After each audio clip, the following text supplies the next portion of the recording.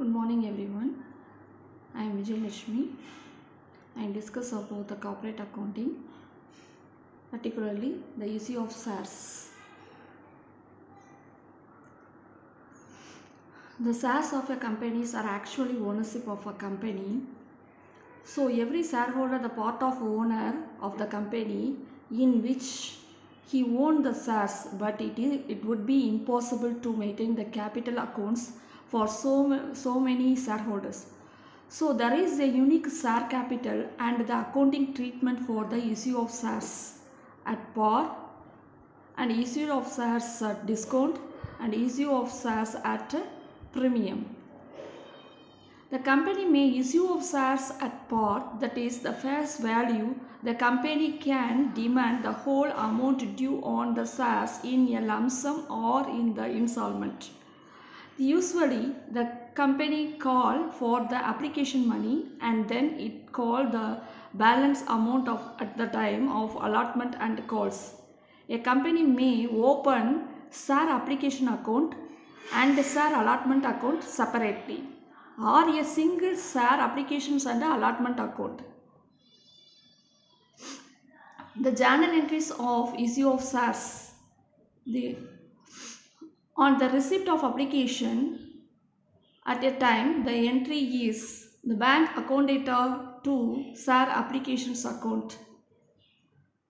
Being the applications monies particularly in the number of shares uh, over subscriptions of shares or under subscriptions of what are the what are, what had to the applications monies received uh, exactly to enter into the particular amount column on allotment of shares the first of all the application money on allotment shares is transferred to the share capital account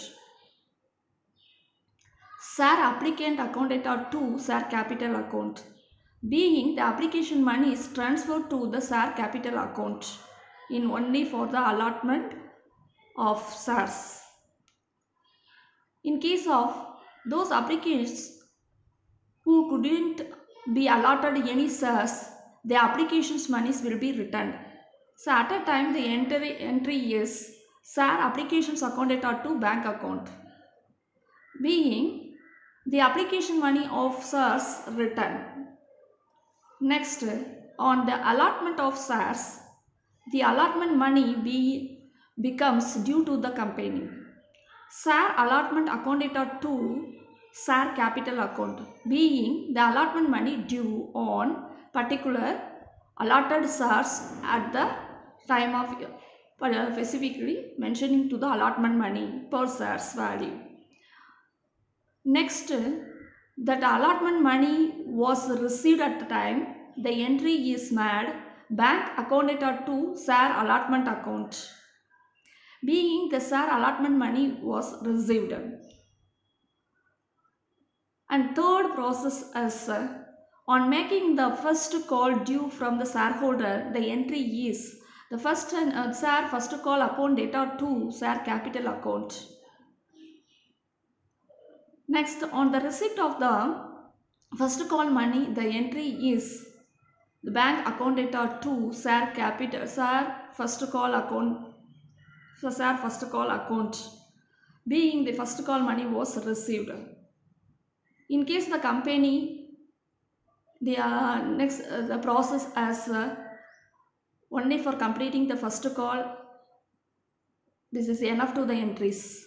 In case the splitter to the collections of uh, uh, share money they going to the entries as second call and also the second call money collected at a time the entries as due entry and also to received entry and also the final call same also due entries and also to received entries. These are the entries will appear into the appear into the books of accounts. Thank you. Thank you.